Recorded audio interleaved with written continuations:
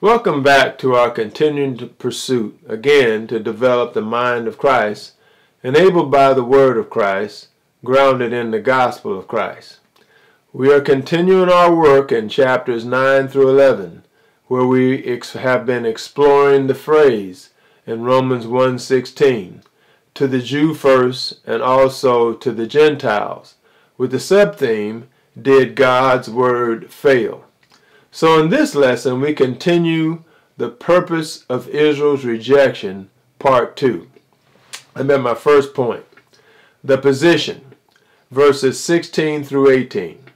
If the dough offered as the first fruit is holy, so is the whole lump.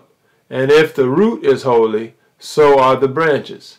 But if some of the branches were broken off, and you, although a wild olive shoot, were grafted in among the others, and now share in the nourishing root of the olive tree, do not be arrogant toward the branches. If you are, remember it is not you who supports the root, but the root that supports you. All right? Paul's metaphor of the dough and the root teach the same truth that consecration of the first part consecrates the whole. The dough metaphor is drawn from Numbers 15, 17 through 21. The Lord instructs his people that after they enter the promised land, they are to offer to the Lord a dough offering. It is like the first fruits of their crop. The first dough for baking, uh, which is the first dough for breaking bread. However, Paul gives no hint to what set of circumstances this metaphor applies. However, the answer is in the second parallel metaphor in which the verse uh, in the verse, and we're ta I'm talking about the branches. The branches are the Jews. However, Paul did not clearly identify the root.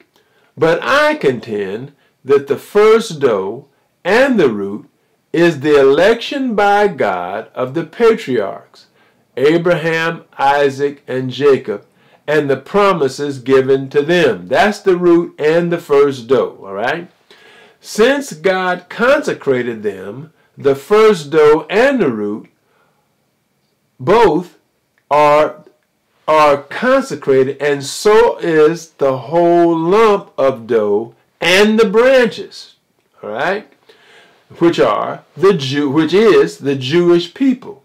However, God's consecration does not mean that the patriarchs possess any qualities that earn them spiritual benefits for themselves and their descendants. As both the Old Testament and Paul make clear, the patriarchs and Israel are only a conduit. Their holiness consists in having been set apart by God. Now, the word holy is taken from the Old Testament sacrificial language. The word does not have a sense of being set apart by God for salvation. Catch that. That it usually has in the New Testament. We are sanctified or set apart for salvation in the New Testament. That word doesn't carry over from the Old. All right? But the set apart by God in the Old Testament is to be a special vessel in salvation history. Catch that, please. The special, remember, the Old Testament is a shadow. This special vessel relationship between God and Israel is a reason to have hope or a reason for hope for Israel's spiritual renewal. Paul, using the root and branches metaphor, warns Gentile Christians that the protasis if clause of a conditional sentence whose apodosis then clause contains the prohibition. The if clause has two parts, all right? First, some of the branches have been broken off. And he says, if some of the branches have been broken off, all right? The branches broken off are unbelieving Jews. Follow the metaphor. Here, Paul restates the essential tragedy that inspired his writing of Romans 9 through 11 in the first place.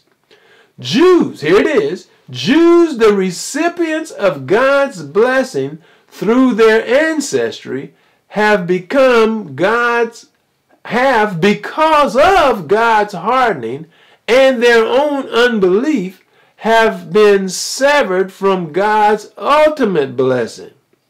They were a special ble- they were a special vessel. But not of but now they've been separated from God's ultimate blessing. Second, grafting in among the branches that remain or grafted in among the branches that remain are branches that come from what? A wild olive tree. We've been down this road, which are Gentile Christians. Gentiles have no natural relationship to the patriarchs or to the promises. Only by faith alone and God's grace have they become fellow participants with Jewish Christians. Two aspects of this metaphor require further comment, I'm, and I'm going to do this. First, is the significance of Paul's choice of the olive tree as a symbol of Israel in the Old Testament and the fact that the olive tree was the most widely cultivated fruit tree in the Mediterranean area. By contrast, a wild olive tree was disgracefully unfruitful. So Paul identifying Gentiles as wild olive tree branches should moderate Gentile pride. Second, Paul's reference to grafting branches from a wild or uncultivated tree into a cultivated one is the reverse of the usual process and practice. And there are those who claim that Paul did not know what arboriculture or didn't understand arboriculture because farmers did not graft unfruitful wild branches into a cultivated tree. Think about that for a second. So, my view, Paul theologizing the Christian faith inspired by the Holy Spirit is inspired by the Holy Spirit. Therefore, recognize who, who's doing the inspiration here. God can and has acted contrary to nature to illustrate his grace and power. Think about this. God can, can, can, can do anything but fail. Think about that. The then clause contains the prohibition. Do not be arrogant toward the branches. The verb arrogant combines pride and conceit regarding others. The others are who? The natural branches. But Paul does not mean or does not specify that just the branches that have been broken off, which are the unbelieving Jews, or branches that remain Jewish Christians. But now, who is he talking about? He probably is talking about both.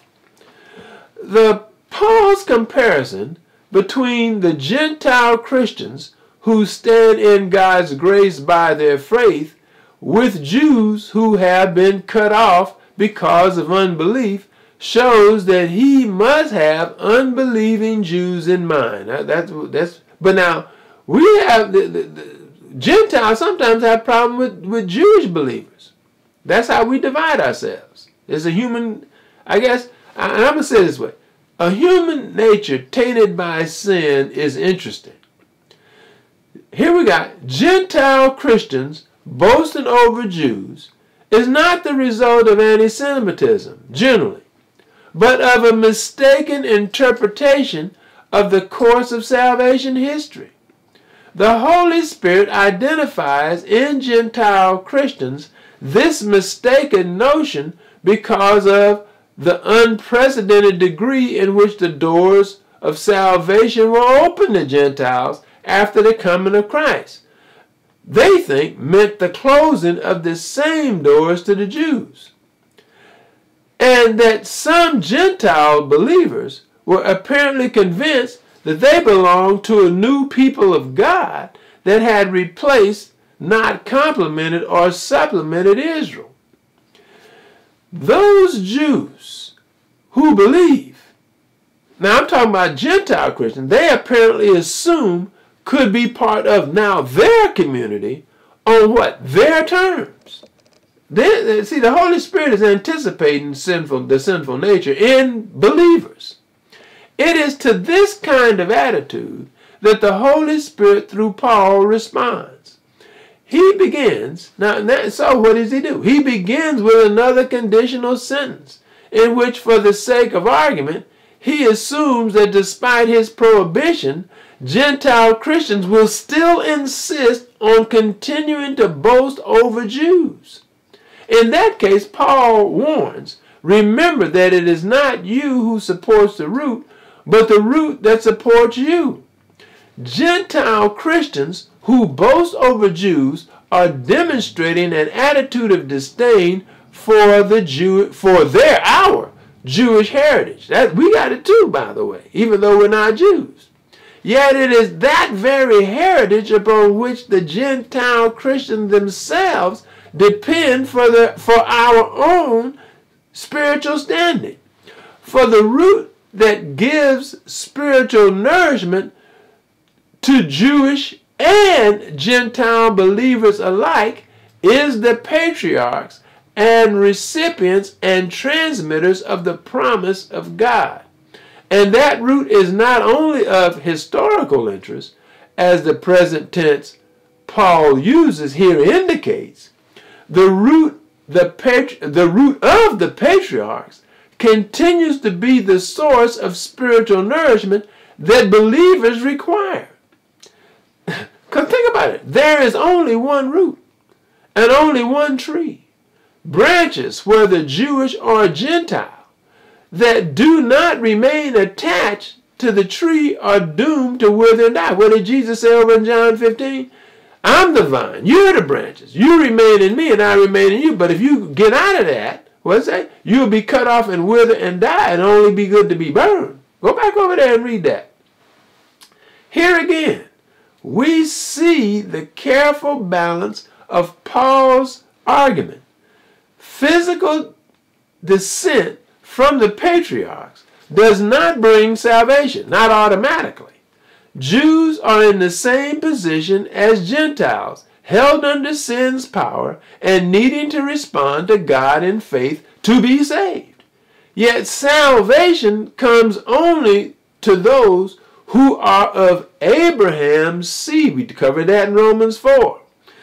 The people of God are one, and that people has both a Jewish root and a continuing Jewish element. All right, I'm at point number two the perturbation, verses 19 through 21. Then you will say, Branches were broken off so that I might be grafted in. That is true. They were broken off because of their unbelief, but you stand fast through faith. So do not become proud, but fear. For if God did not spare the natural branches, neither will he spare you. All right? Paul anticipated more misguided, ironic reflection using another hypothetical metaphor.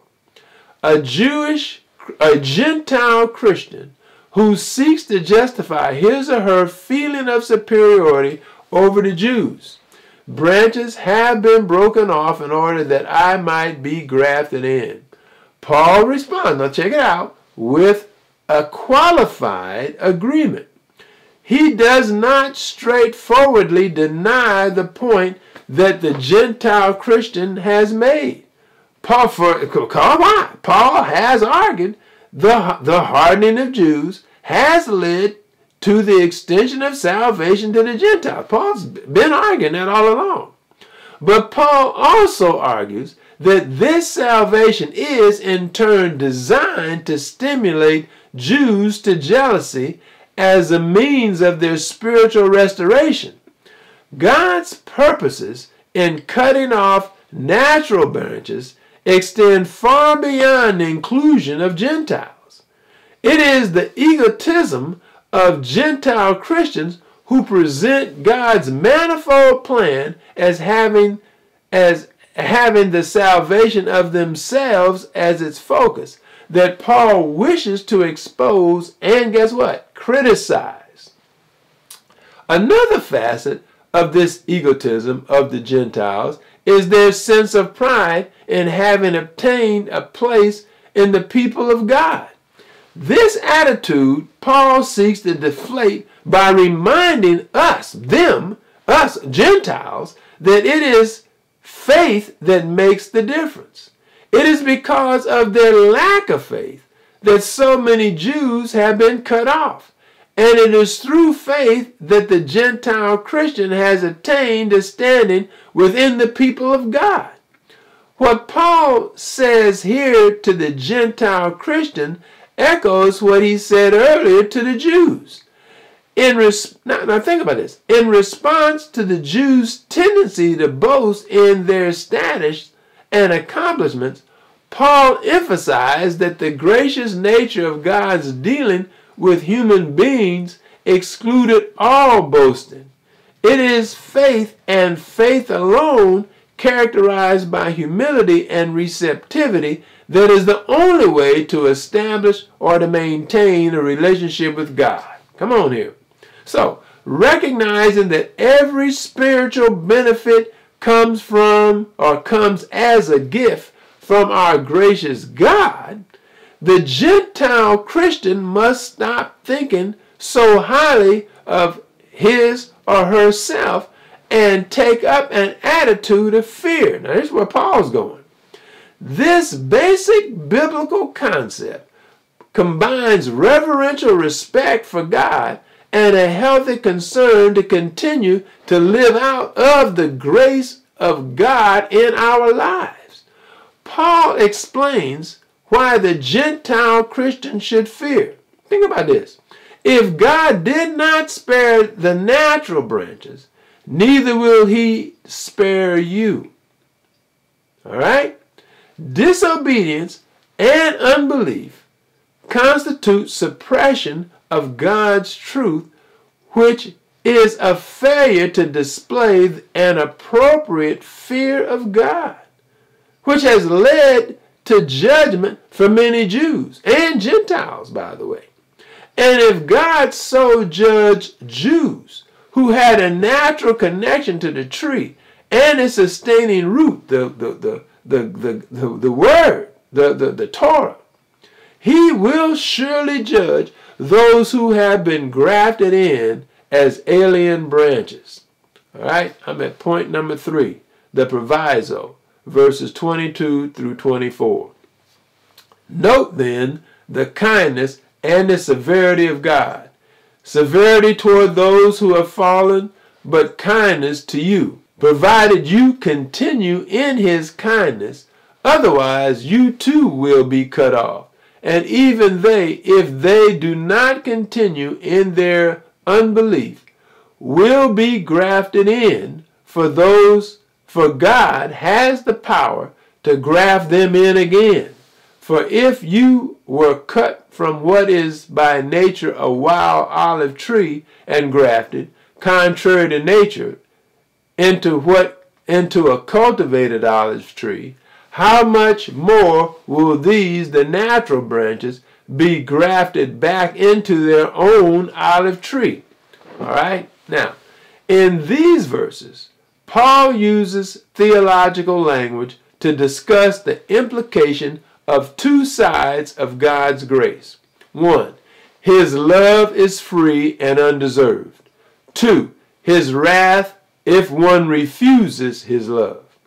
In context with the preceding metaphor, one, God's severity, reinforces the note of condemnation found in the not spared. Identifying God's severity on those who have fallen. Come on. Two, God's kindness is shown by grafting into God's people, Gentile Christians who stand in faith through God's gracious initiative. Paul's main purpose is to repeat his warning to Gentiles who may presume on God's goodness. God has given eternal life to all and provided an option as to where to spend it. However, God's goodness is not simply, excuse me, a past act or automatic belief or automatic benefit on which one can rest secure. It is relationship, a relationship in which one must enter. Refusal by the Gentiles will, like the Jews, be cut off. That person will be cut off, severed forever from the people of God and eternally condemned. Let's go back to John 3.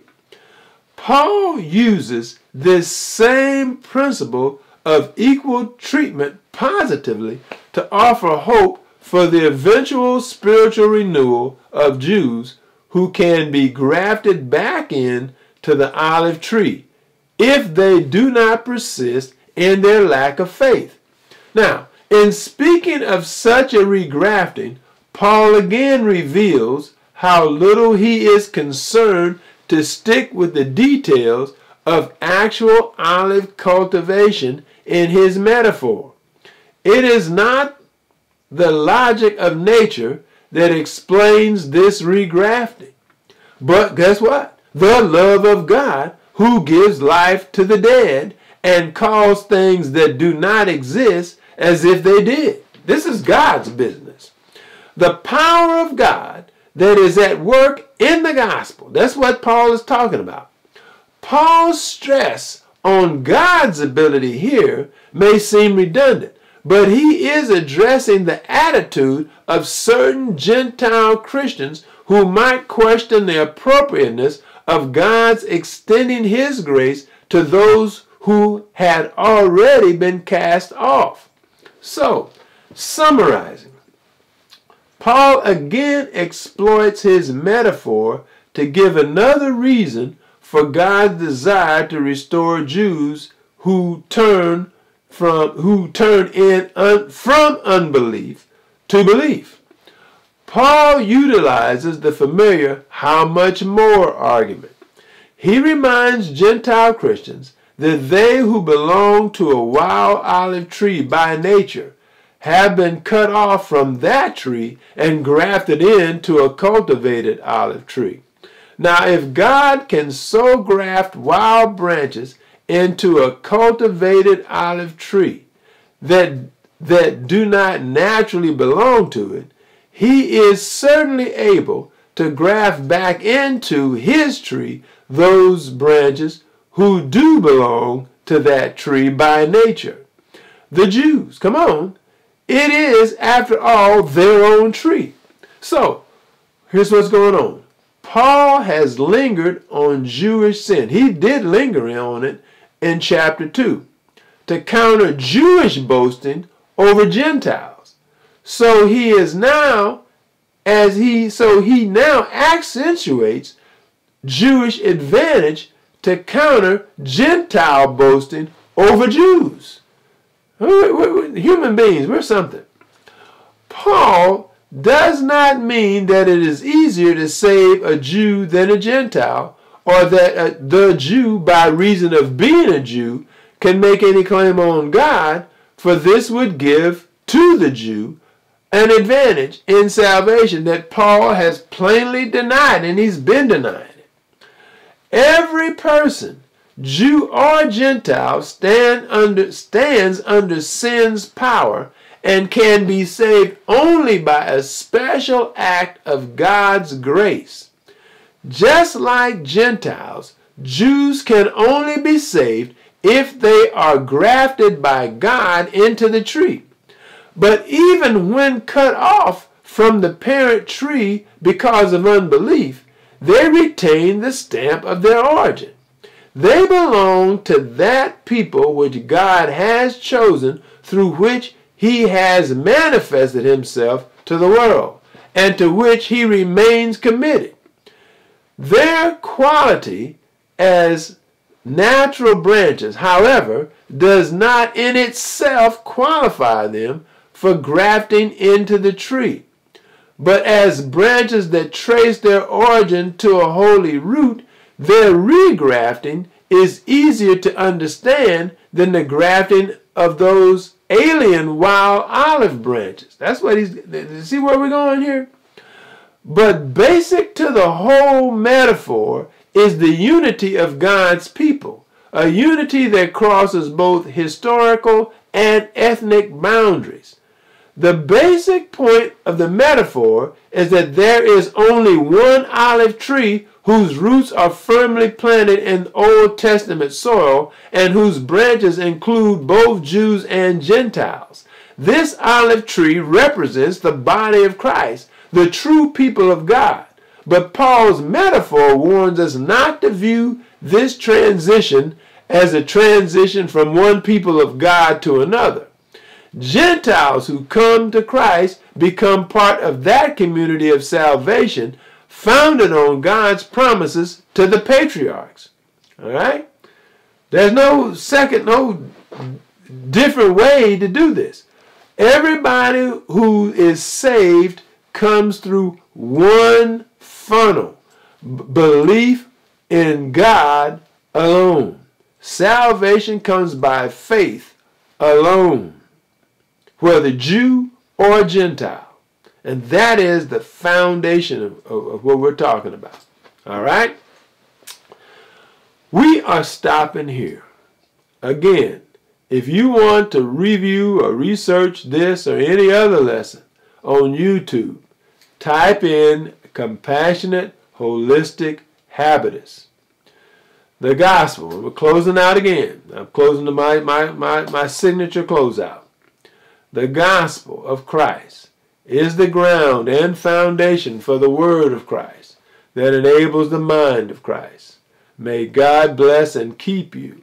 Amen, amen, and amen.